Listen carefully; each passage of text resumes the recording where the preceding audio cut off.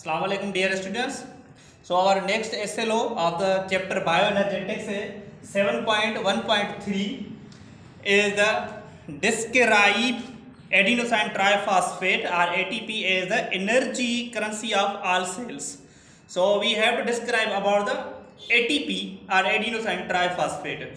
So it is a molecular compound that store energy this energy is utilized for the different purposes for the living organism. So different living organisms use or different cells use this energy and perform their its important physiological process. So it is a due to this it is known as the energy currency of body. So the next SLO of our uh, is the 7.1.4 this is describe the synthesis describe is understanding level. So 7.1.4 in this we describe the synthesis.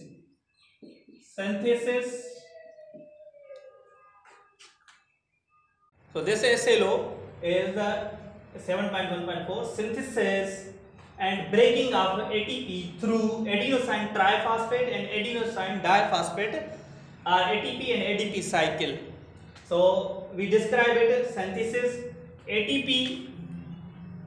This is a structure of ATP. So in the ATP there is sugar that is known as ribose sugar. It is ribose sugar.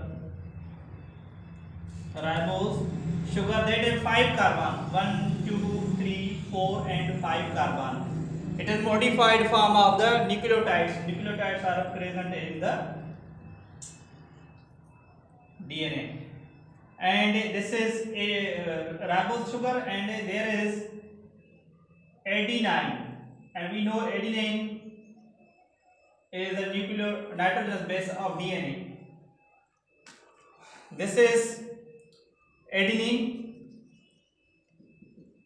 and this is ribose sugar and here is phosphate. P means phosphate. This P is attached this is bond, this is covalent bond and this is also bond, this is bond. So these are wavy lines show the bond, covalent bond and here in this bond energy is stored, energy is present in these bonds, these wavy lines show the bond, energy bond. So this is all structure of the ATP. If there is a breaking of one bond, here phosphate is released in the inorganic phosphate and energy also released here energy is also released and this energy is utilized for the different purposes.